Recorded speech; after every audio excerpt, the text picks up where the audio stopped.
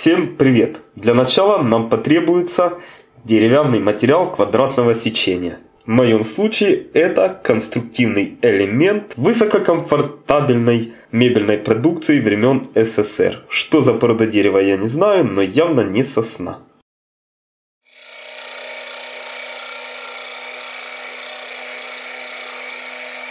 Обтачиваю до круглой формы, шлифую, полирую.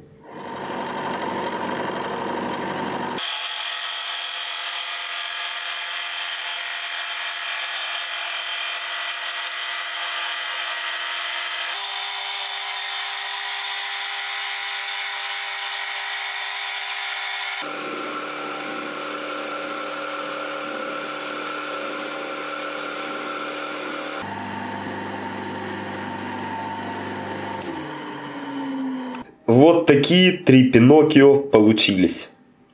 Покроем морилкой для защиты от тараканов, вшей и прочих вредителей. Ну и естественно для придания более привлекательного внешнего вида.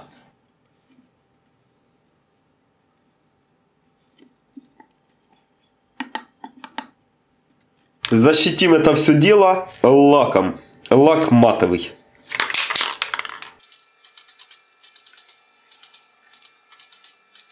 Достаточно. Недавно в интернете приобрел несколько прутов диаметром 16 мм, марка алюминия D16T. Его-то мы и задействуем для изготовления следующих деталей для нашего инструмента.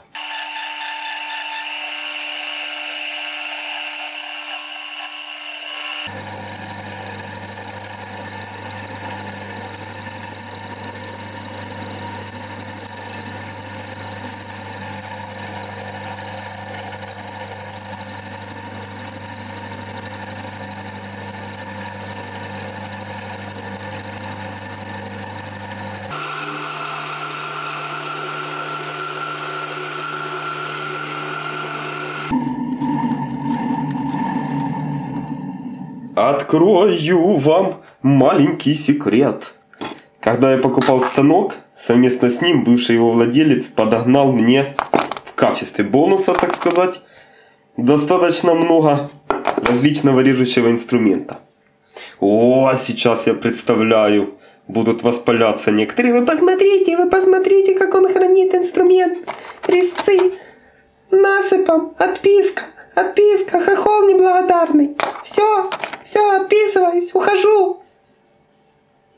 На самом деле доля правды есть. Нужно будет это все как-то разобраться с этим вопросом. Ну не же действительно насыпом хранить. Ну так вот той скупе инструментов было найдено вот такое, держите меня, семеро приспособления. Я не знаю, что это такое. Может быть, какая-то, я так предполагаю, накатка, наверное, для дерева. Ну, я, честно признаться, фиг его знает. Удивительно.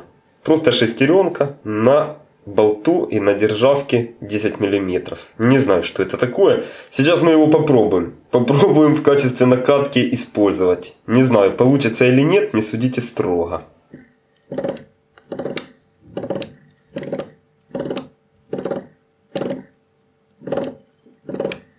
Результат, конечно, так себе. Неаккуратно. Я сейчас попробую надфилем немножечко пройтись.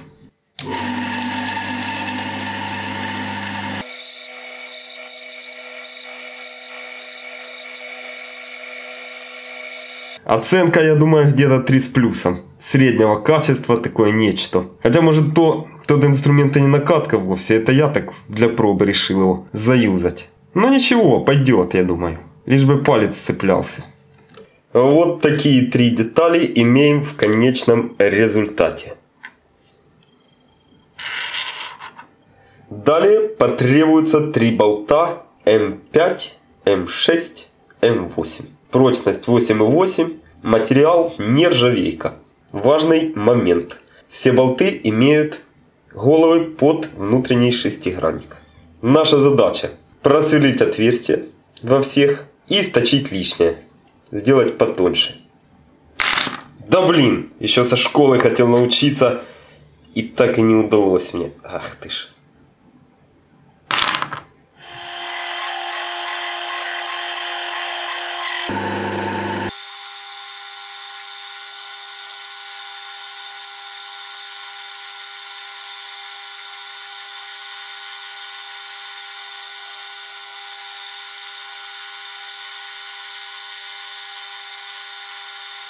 Собираю. Для того, чтобы обеспечить плотную и надежную посадку ручки, использую эпоксидную смолу.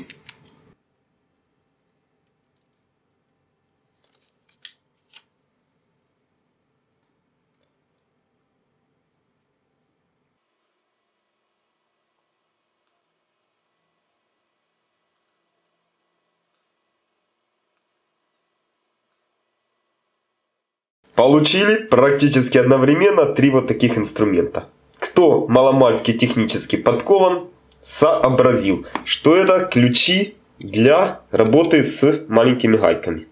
М2, М2,5, М3. Инструмент действительно актуален, по крайней мере для меня. Во-первых, в ряде случаев подлезть даже самыми маленькими пассатижами в то или иное место для того, чтобы затянуть, скажем, гайку М2 просто невозможно, там нет места. Головка сделать это гораздо проще и быстрее. Во-вторых, используя такой инструмент, грани гайки практически не повреждаются. Ну, по сравнению, опять же, в случае с использованием пассатижей, плоскогубцев и прочего зажимного инструмента. Давайте протестируем. Винт М2.